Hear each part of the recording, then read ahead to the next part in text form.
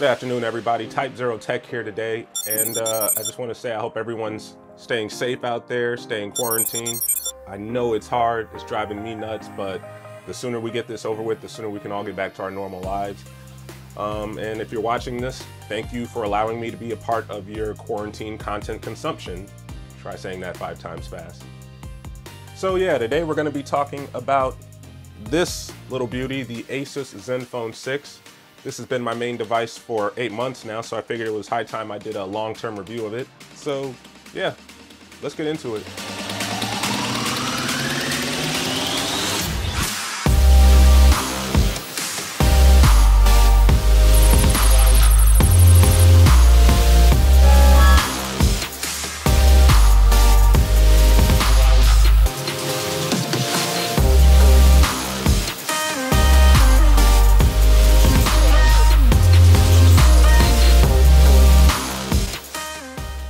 Like to address, there's usually, at least with me, I don't know if this applies to anyone else out there, but there's always that period you go through when you buy your new device and then you notice either months or a year later that there's this awesome new feature that seems to be encompassing all these other smartphones that, man, I wish I would have waited out just to have that one specific feature. I feel like I have that every year. Tech envy, it, it happens. It, the space just moves too fast not to. I don't feel that so much this year. I've been seeing all the new flagship phones that have been coming out and it's been unusual. I noticed where this phone has a large battery, so does this one. I noticed where uh, some try to say I have this infinity edge with the hole punch. I have an uninterrupted screen, no hole punch required. And the wow factor of the camera still has not worn off on me. That doesn't get old to me. I, you would think eight months in, it would be like, okay, whatever, it's just a thing it does. No, for me, it still amazes me that this phone even made it into mass production, so I'm happy to have it here. And as you can see, eight months later, it's still working just fine. Admittedly, there are times when it doesn't fully deploy the first go, I would say it doesn't take me more than three tries to get it to fully deploy, and then after that, I just go back in and recalibrate it, and everything's usually fine. And this phone has seen some drops, unfortunately. In fact, the B-roll you're probably seeing involves the tempered glass protector over the screen. That's not the actual screen. I'm sorry. I know I should have taken it off for the sake of the video, but Amazon is not delivering in two days like they used to. Uh, screen protector, I think, is non-essential. So, and plus, I don't even have Prime anymore. So I won't be getting my screen protector until what next? Not this Friday, next Friday. So yeah, it's gonna be a couple weeks. So I'm not. I, I can't be taking those chances. Sorry, I'm not there. This is a small channel, guys. I'm not there yet. I promise though, next time I will be well prepared, and I will have some screen protectors on reserve for you. But for now, please bear with me. Anyway, First things first, let's get into the battery life on this thing. This thing rocks a 5,000 milliamp hour battery. There's no exact way to measure it. I can only tell you that eight months in, this definitely has changed my charging habits. I don't need to charge as often anymore. I easily get two days of light use with this device. And even when I do have to charge it, the 18 watt charging makes it where I pretty much have like, what, a good 30, 35% in about 20, 30 minutes. So yeah, that on a 5,000 milliamp hour battery will get you a good bit of time. But um, yeah, battery life uh, has been holding up pretty well. I apparently, according to AccuBattery, there has been some damage. Although this is just an estimate, it's not an exact, but it is telling me that out of the 5,000 milliamp hours I'm supposed to have, I have an estimated capacity of 4,582. So that's 92% of the overall battery health. I'm okay with that. Especially considering when I first got the phone, I did not practice the best charging habits with it. I still charged it overnight while I was asleep, which could have been prevented with this next thing I'm about to tell you about, PowerMaster. So what PowerMaster is, is Asus's stock battery management software. You can find it in your settings. But pretty much it offers you a different range of options and utilities to help conserve power. It'll tell you when you have apps that are excessively draining power from your device and allows you to shut them down. My favorite is battery care though, which will tell you if you have good charging habits, but more importantly, it has scheduled charging. And what that does is say I go to sleep 10 o'clock the night before and then I wake up at five the next morning, it'll actually lower the charge rate of the device so it finishes charging right before you wake up at five the next morning. That, for someone that wants to have a device for two plus years, is essential. That is good looking out, Asus. That's all I can really say. Appreciate that one. So yeah, had I known about that at the beginning, I probably could have prevented some of the wear and tear on my battery, but it's regardless, it's gonna happen over time. Your battery will degrade. So that's another reason why I'm happy to even have that much capacity in my device because I feel like having that much battery power will help me throughout the life of the device. So yeah, this, as far as battery is concerned, is a two-year device. Easy. Next up is performance. I haven't noticed any lag of my daily usage of the device. I did pay the extra 100 for the 8 gigs of RAM, 256 gig storage version just to mitigate any possible lag in the future. And uh, I can say in the long yet short time I've had it, it's been great. I mean, I think that's to be expected when it's running on last year's flagship processor. It's not gonna age that quickly. So yeah, my daily usage of the device, everything's fine. I'm now on Android 10. They released that update. It was a little rocky at first, but they have been consistent with the updates over time. Something I really do appreciate, especially coming off my Essential phone, which was amazing with updates. So Asus, they haven't quite hit that bar yet, but they're they're killing it. They're doing they're doing their thing with it. They haven't abandoned this. I don't do much gaming on the device, to be honest with you. That being said, there was an old favorite I was itching to play for some reason, and I figured why not give you guys a demonstration of it. So, uh, even though it is a little old, there have been fan mods to it that have updated the graphics to make it a little more intensive. I don't know if it's supposed to be up to the task of straining the 855, but either way, just, you know, check it out and uh, tell me what you think.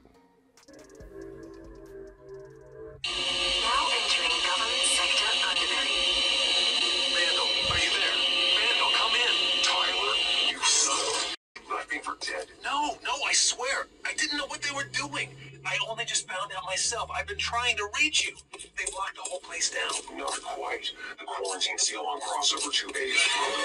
Can get out and fix it behind us. You can, maybe. I'm nowhere near your location. I'm sorry, but I can still help you. Make for the tube, and I'll be with you every step of the way. I promise. Maybe we can both get out of this. Those bastards really screwed us, didn't they? All right, I'm heading that way now. At least maybe we can stop this thing from spreading.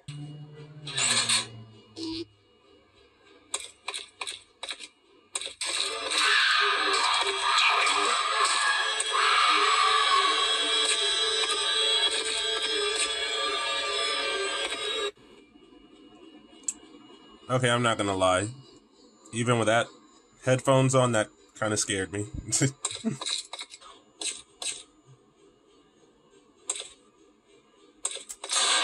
oh! Tyler, I'm seeing. That's not real. Visions? You're having visions? That was just for the video. That wasn't real. That, that scream wasn't real at all.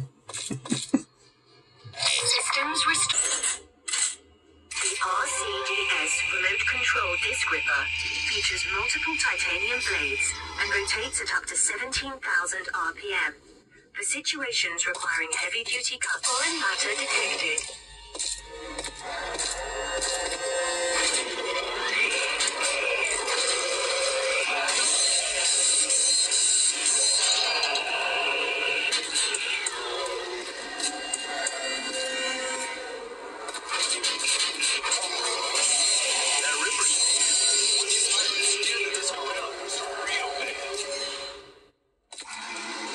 This was actually one of my favorite weapons in the original Dead Space.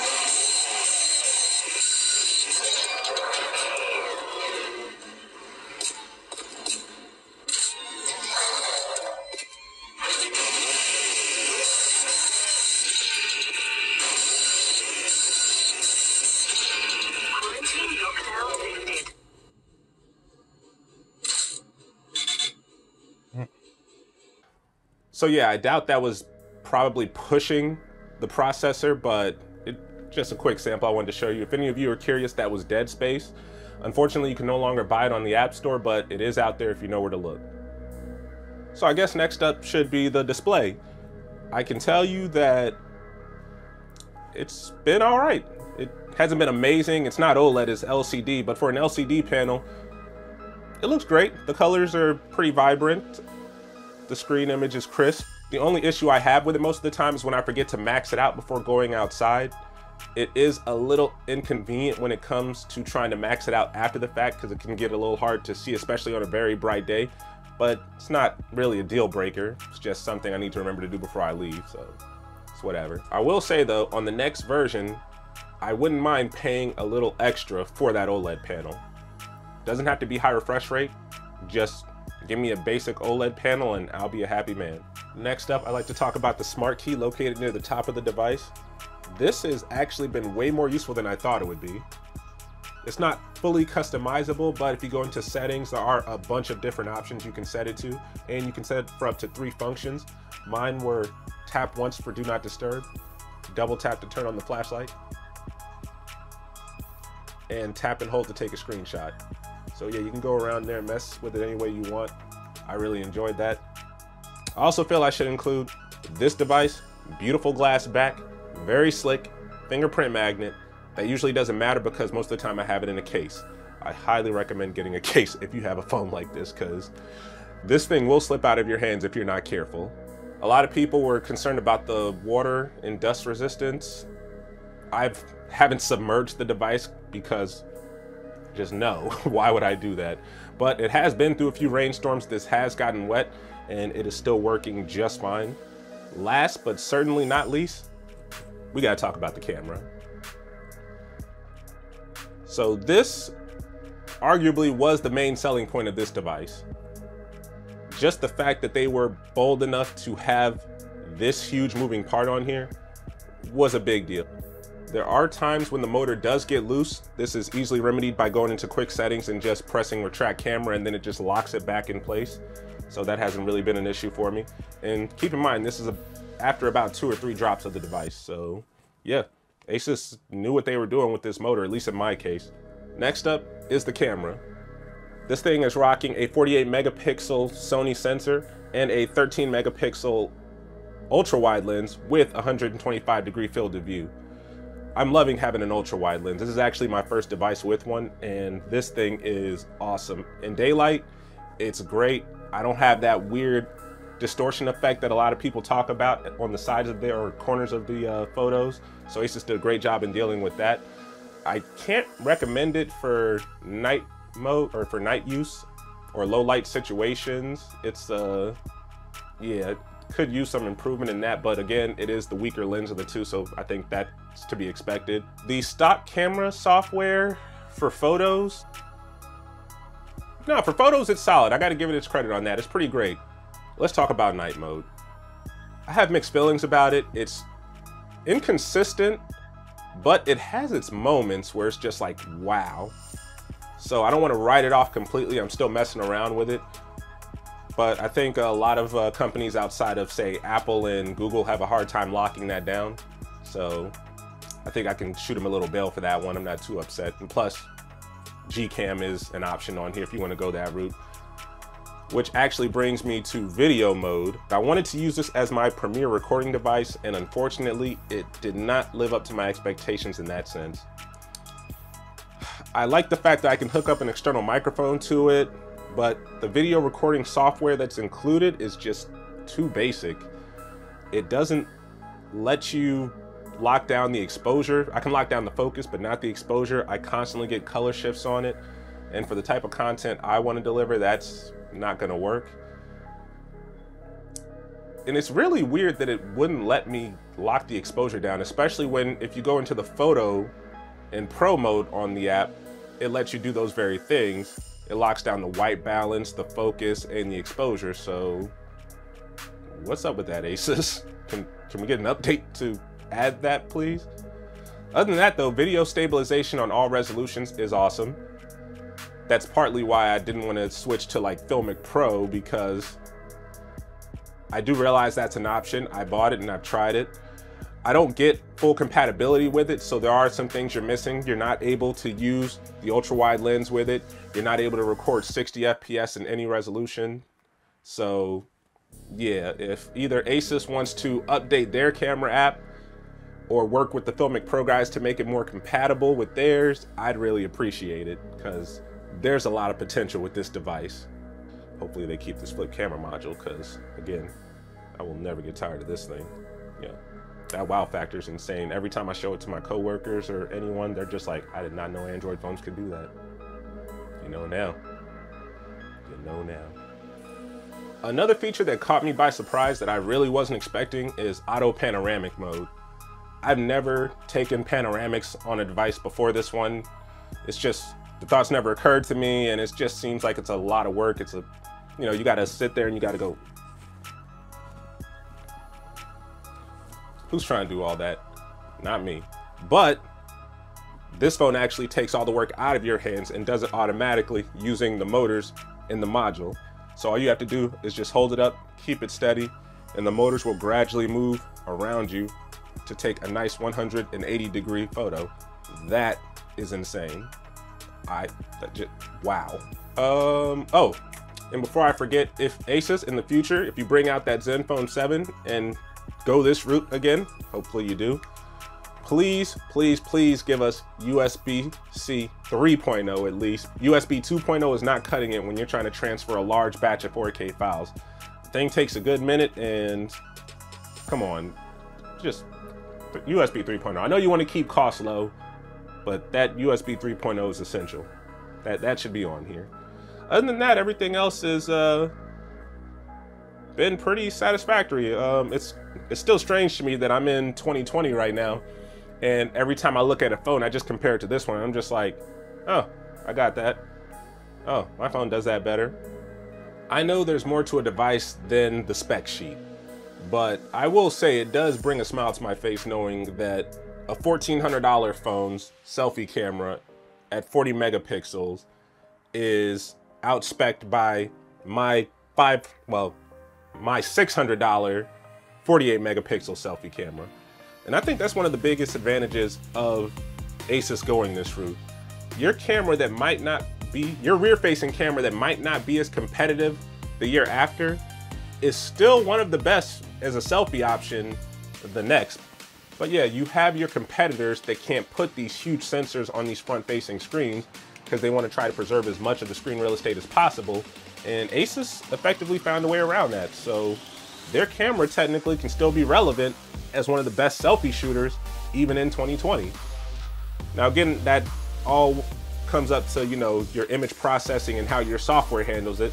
But for the way I use my camera, and I think I am a little more technologically inclined than most where I know how to adjust the exposure in certain settings to maximize the image, this is great.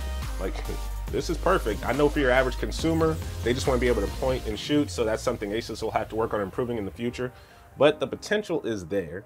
Like I said, I let my niece use this for one of her videos, and I was just looking and seeing why this device isn't more popular to the social media crowd.